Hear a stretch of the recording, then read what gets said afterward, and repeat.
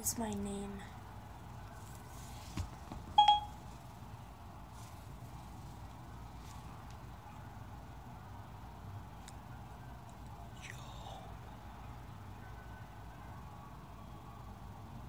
I don't know who you are, but you can tell me. In Siri settings, tap on my info and then choose yourself or your contacts.